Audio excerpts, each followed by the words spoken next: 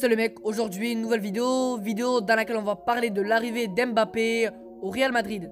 Mais avant de parler d'Mbappé qui est selon moi un excellent attaquant, n'hésite pas à liker et de t'abonner à la chaîne en activant la cloche, ça reste et c'est évidemment le plus important. Je compte sur vous et nous les mecs on est parti pour parler de l'arrivée d'Mbappé au Real Madrid. Alors que le Real Madrid serait dans la possibilité de se mettre d'accord avec Kylian Mbappé dès le 1er janvier, le président Florentino Pérez attendrait la fin des huitièmes de finale de la LDC afin de se montrer encore plus convaincant aux yeux d'Mbappé. Dans le cadre du prochain mercato estival, le PSG serait susceptible de perdre Kylian Mbappé. En effet, le 30 juin prochain pourrait sonner le glace de l'aventure Mbappé au PSG en raison de l'expiration de son contrat actuel signé à l'été 2017. Le Real Madrid ferait figure de favori dans la course à la signature de l'attaquant du PSG.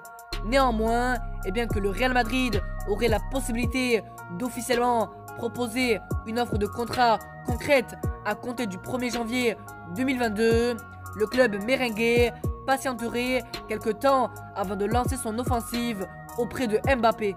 C'est du moins ce que le Parisien a assuré ce vendredi. À encore les informations du quotidien de la capitale, le Real Madrid n'aurait prévu de passer à l'action qu'à compter du 9 mars prochain, sur la date du huitième de finale retour de la LDC opposant le PSG à la Casablanca.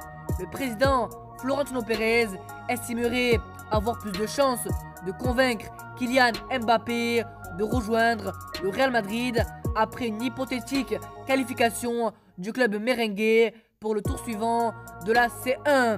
Et quand bien même le PSG parvenait à éliminer le Real Madrid, Pérez ne serait pas inquiet puisqu'il aurait été rassuré des intentions de Kylian Mbappé pour son avenir en armant le PSG est prévenu. Voici en tout cas les gars pour cette vidéo, j'espère qu'elle vous aura plu. Évidemment, donnez-moi votre avis dans les commentaires. Est-ce que selon vous, l'arrivée d'Mbappé au Real Madrid est vraiment une bonne idée? En tout cas les gars, n'hésitez surtout pas à liker et de vous abonner à la chaîne. Ça reste et c'est évidemment le plus important. Je compte sur vous. J'ai envie de vous dire à la prochaine et salut